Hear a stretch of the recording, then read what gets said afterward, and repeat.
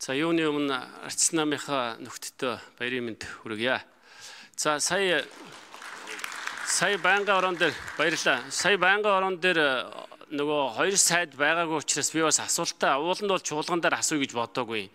Тэгээд нэг хоёр асуулт асуугаадах юм. Энэ төр хувийн хвшлийн тухай хуулийг 2022 онд баталсан юм а гантмар сайдаа. Тэгээд энэ төр хувийн хвшлийн тухай хууль таны ер нь өчтөрийн ингээ гişүүдийн асуултанд хариулж байгаа хариултыг сонсохоор Энэ бол э, төр хувийн хвшлийн хүрээнд их олон ажил хийгдэх нэ гэдгийг би ойлгож байгаа тий. Төсвөөс хийгдэж байгаа ажлууд одоо гадаадын одоо зээл тусламж гэдэг юм уу.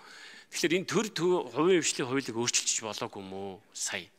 Энд чи хараа одоо би ерөнхий сайдтай одоо 3 4 удаа хувийн хвшлийнхэнтэй уулзалтанд оролцсон.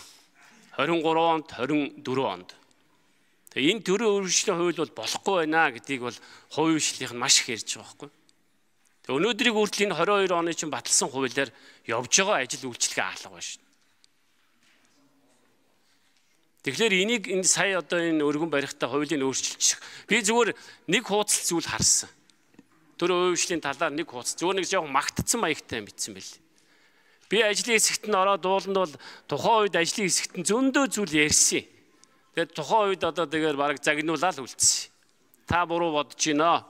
Энэ хууль сайхан хуулаа харж байгаараа маргааш гоё болчихноо л гэсэн. Тэгээ өнөөдөр баг 22 он дууслаа, 23 он дууслаа, 24 он дууслаа. Одоо 25 он эхэлж байна. Тэгээ энийгээ уул нь өөрчилсөн бол таны ярьж байгаа одоо тэр хувийн хвшлэр ажлуудаа илгүүлэн төр ер нь хувь том одоо томон бүтээн байгуулалтад дэмжин маш зөв ярьж байгаа тэр чиг явах хэрэгтэй байхгүй. Тэгээ хуульчи одоо ийм тэгээ засаг эсвэл нэг журам мурам батлах юм уу энэ төр гэд тиймэрхүү байдлаар бол энэ явахгүй л таа. Уул нь бол энийг засаад явчихвал би бол одоо тэр том том төсөл хөтөлбөр тэр төмөр замын одоо холболт молболт 100% гараа өргөө дэмжиж байгаа. Та өөрөө энийг мэдчихэж байгаа. Тэгээ энийг бол яагаад засчих болоогүй юм бэ? Сая би байнгын хорон дээр асуух гэсэн та байгаагүй л те.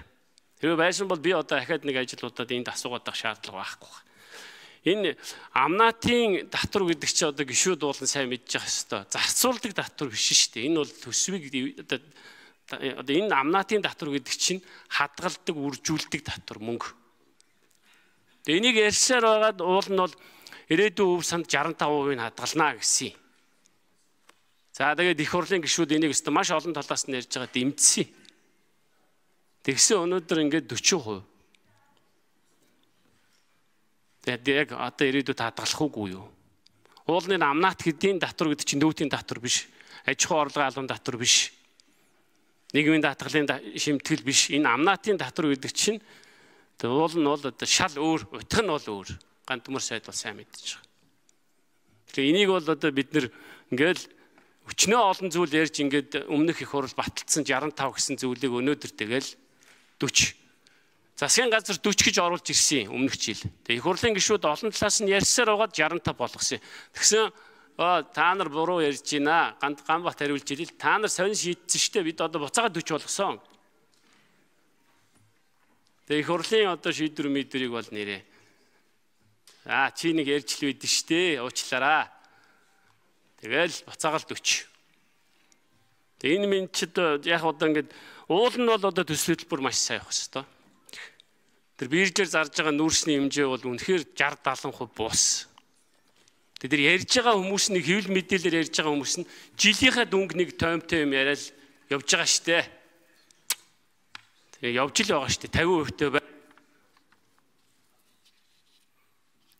За хариулт өгье. Сангийн сайд болдын жавхлан хариулт өгье.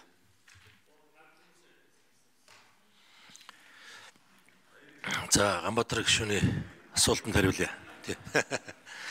За олон баяр давхцаж байгаа юм байна шүү. Тий. Харцнаамынхаа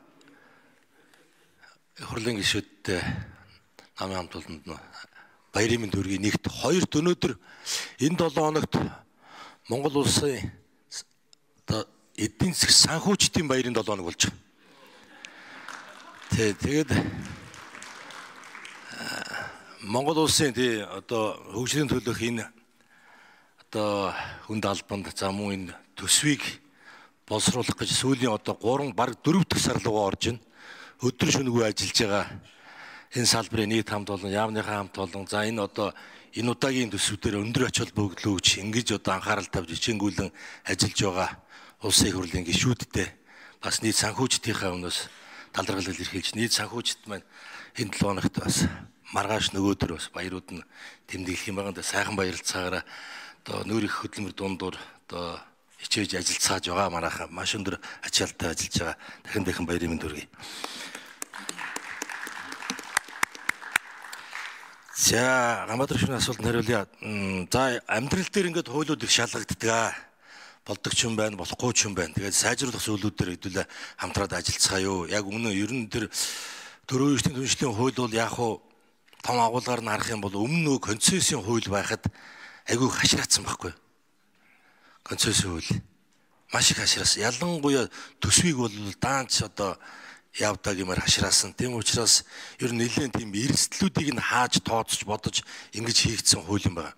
Энэ нь эргээд одоо энийг төгчүүлэх биш ингээд хаач чадаагүй бол энийг одоо сулдаад өшөө илүү их одоо либералчлаад ингээд явж болно л доо энэ дээрээ хамтраад ажиллацгаая. Уг нь бол яг хууль дээр темплейт нь бол яг нэгдсэн үндэсний байгууллагын ийм одоо загвар хуулийн дээр хийсэн яг олон улс гадна талтаа бол одоо их үлгэрж ийм одоо хууль болсон байгаа юм аа. Тэгээ энэ дээр бүгд ажиллацгаая, ажиллацгаая. За хоёрдугаар амнат дээр бол тэр 40 бол Гамбатар шүнэ одоо та засагт байхдаа хэдүүлээ сууж байгаа л энийг 40 болгосон шүү дээ. Анх бүр нойллоод нөгөө юуны үеэр ковид үеэр нойлолж жогод энэ мөнгөөр хүүхдийн мөнгө тавьсан. Тэгээд тэгээд бас тэр чи одоо төсөв дараахан жилэн тийм урдан амар болчоогүй. Ингээд 20 40 65 гээд шат шатаар нь буцаагаа тавьж байгаа юм. Тэгэхээр эх жил өмнөх жил 20 байсан, одоо эх жил 40. Тэгээ тэрний дараа жил одоо төсөв одоо боломжтой нэг даахаар болоод тэрхүү буцаагаад 65 таа хүрнэ. Ийм л шаттараа та буцаагаад тавьж байгаа зүйл. Тэрнээс ус 65-ыг 40 болгоцсон зүйл биш. Хүүхдийн мөнгө тавих гээд нойлсон байсан. За энийгээ шаттараа та буцаад тавьж яана л гэж. За Ганбаатар гүшүүн тодруулжсоё. За ган төмөр сайд дэгж байгаа дараа надад нэг тодорхой хариулт өгч нь үсттэй. Ер нь эдийн засгийн хөгжлийн яам сангийн яамыг сайн шахах хэрэгтэй шүү. Эдийн засгийн хөгжлийн яам сангийн яамтай нэг урсгалд биш. Ер нь бол эдийн засгийн хөгжлийн яам анлалаад сангийн яамыг шахах хэрэгтэй. Яг л манай жавхлан сайд ингэж л хариулна л да 40 65 биш 40 биш. Тэг яг одоо баг асуусан хүнийх нь буруу юм шиг л юм ярьж байгаа.